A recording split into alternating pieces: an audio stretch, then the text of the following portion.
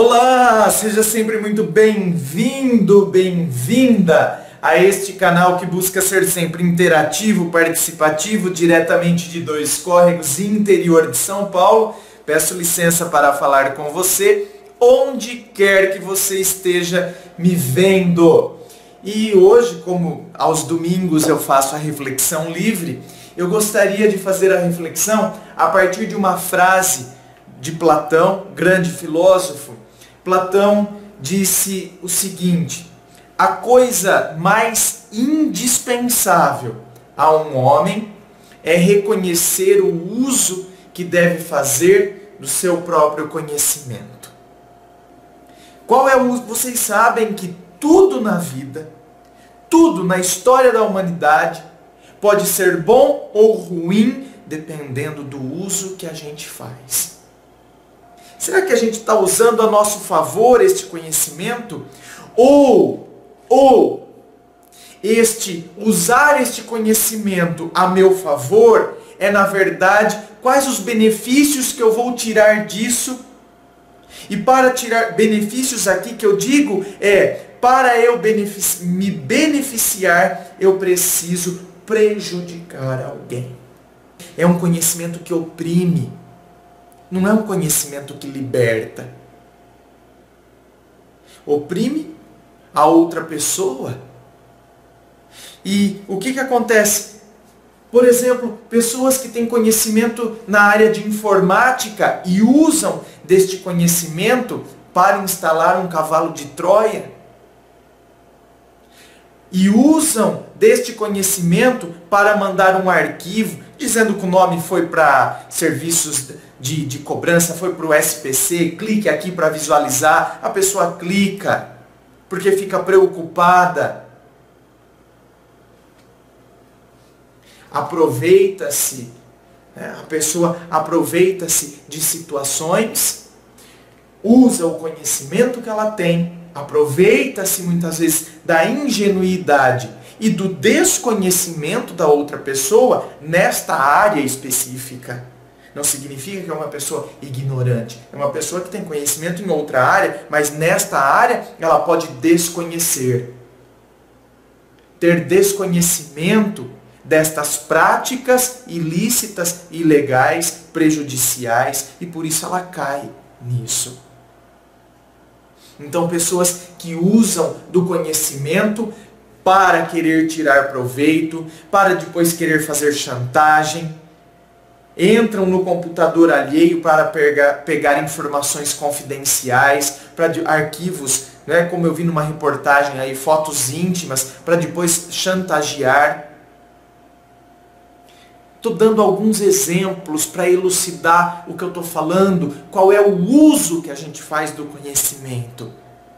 Assim como tem aquelas pessoas que fazem, é, eu tenho conhecimento, por exemplo, religioso, percebem que o brasileiro é um povo que tem uma religiosidade muito profunda, e aí se utilizam deste conhecimento para querer vender bênçãos para espalhar esse negócio de bênção, de venda de bênçãos. Eu serei abençoado à proporção que eu pago. Eu terei muito mais bênção à medida que eu sacar muito mais dinheiro. Infelizmente. E aí, agora dentro da minha área, da área amorosa, Quantas são as pessoas que têm conhecimento, elas tomam conhecimento, eu tomo conhecimento que a outra pessoa me ama. E ao invés de se regozijar disso, ao invés da pessoa se sentir alegre, se sentir feliz, regozijar-se, puxa vida, a pessoa me ama. Ela usa deste conhecimento para humilhar, para pisar. Então agora, né? Eu vou fazer o que eu quero, porque a pessoa está aqui na minha mão. Agora eu posso aprontar. Agora eu posso fazer e desfazer. É aí, meus amores, que a gente tem que fazer uso do nosso conhecimento. A gente tem que fazer uso do nosso conhecimento para que a gente conheça esse tipo de situação e para que a gente não permita que façam isso conosco. Para que a gente não permita que pisem, que nos humilhem, porque a gente tem que ter fazer uso do conhecimento de si mesmo para que a gente tenha então o amor próprio. Para que a gente conheça o amor próprio que tem que habitar em nós. Porque nós somos tratados da forma como nós permitimos ser tratados. Não é espizinhar, humilhar ninguém. É apenas se posicionar. Pera lá. Pera lá. Aqui não. Eu me amo. E agora me lembrei, só para finalizar esse vídeo. Ontem eu dei uma aula e eu usei esse exemplo e eu gostaria de usar aqui. Quantas vezes a gente às vezes está passando, você está passando por um término de relacionamento e aí a pessoa vem e no intuito de nos ajudar, no intuito, não é? Porque são pessoas amigas nossas, são pessoas que nos querem muito bem e são pessoas que nos querem ver bem.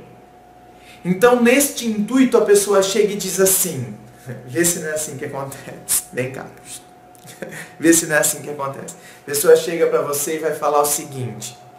Ah, mas olha, quem está perdendo, né? a amiga chega para outra amiga e fala assim, ai amiga, não liga não, porque quem está perdendo é ele. Ele é que está perdendo. Olha a pessoa maravilhosa que você é. Você é linda, inteligente, deslumbrante. Quem está perdendo é ele. Não. A gente tem que assumir e a gente tem que fazer uso do conhecimento do que nós estamos sentindo. Eu tô triste. Não, eu perdi. Eu perdi. Eu tô triste. Fui eu que perdi. Eu não vou aqui me iludir ou querer, não, quem está perdendo é ele, querer fazer o exercício inverso, como se, ah, uma hora ele vai se arrepender, porque aí eu fico conectado, eu não me liberto daquela situação. Não, eu perdi. Eu estou sofrendo porque eu perdi. Mas eu perdi, sabe por quê? Eu perdi porque eu quero encontrar. O que, que eu quero encontrar? Eu quero encontrar o meu amor próprio. Eu quero fazer uso do meu conhecimento, eu quero analisar a situação, eu quero conhecer a situação e eu quero reconhecer agora que é necessário eu encontrar o amor próprio, que o meu amor próprio estava perdido, porque eu permiti passar por aquelas situações, eu permiti que aquela pessoa agisse daquela forma comigo, eu permiti. Então não, eu perdi sim, porque eu estou sofrendo, mas eu perdi para que eu possa encontrar novamente o meu amor próprio. É neste caminho que eu estou agora. Agora eu estou na reconstrução. Agora eu estou reencontrando o meu amor próprio. Eu estou reencontrando o meu eu. Eu perdi. Não foi ele que perdeu. Ele está lá, ele está bem. Fui eu que perdi. Eu perdi o meu amor próprio. Mas eu perdi para que agora eu possa encontrar. E eu vou encontrar. Eu estou nesta luta, eu estou neste caminho. Eu perdi, eu estou triste.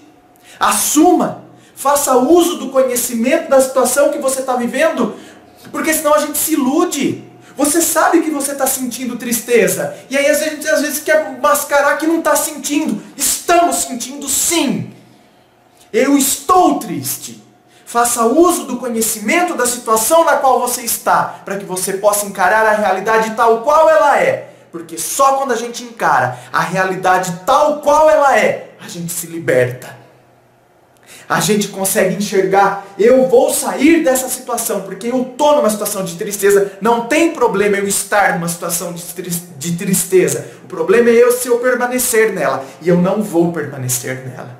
Eu vou fazer uso do conhecimento de toda essa situação para que eu me liberte para que eu me reestruture, para que eu me recupere, para que eu reencontre o amor próprio que eu perdi.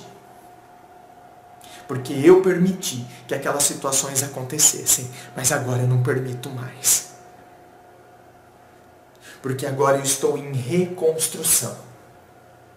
Ai, quando a gente faz isso, a gente usa do conhecimento para que, a, que a gente se liberte. Qual é o uso que eu vou fazer do conhecimento que eu, da situação pela qual eu estou passando? Qual é o uso do conhecimento que eu vou fazer para a minha libertação? Para que eu esteja bem.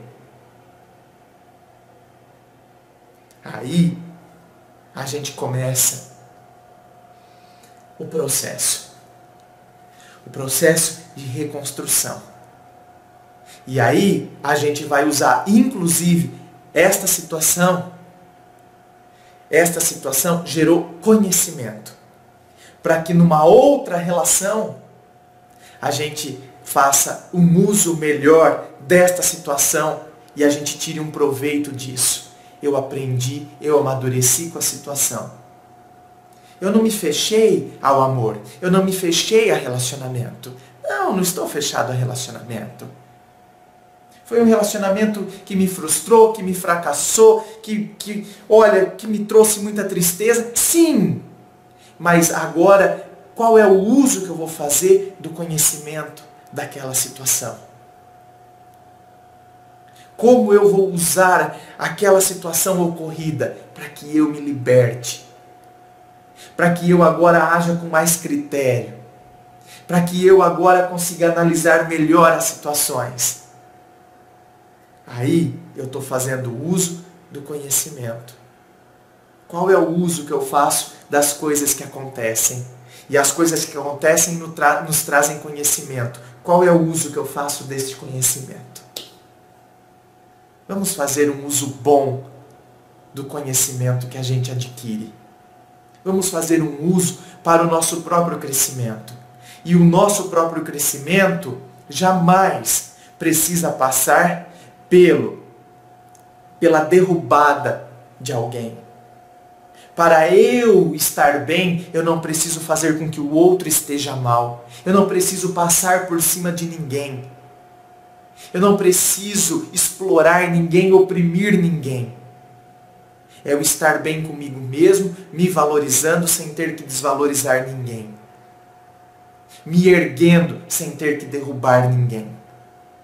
Aí eu faço um uso adequado do conhecimento adquirido através das situações pelas quais eu vou passando e pelas quais eu vivo. Muito obrigado por você me assistir. Inscrevam-se, eu fico aqui aguardando a sua inscrição e eu fico aqui torcendo pela sua reconstrução. Participe de todas as sessões que constituem aqui o canal Ponto de Vista. Participe do Facebook, clique em seguir. Participe do blog Ponto de Vista. Muito obrigado e um forte abraço.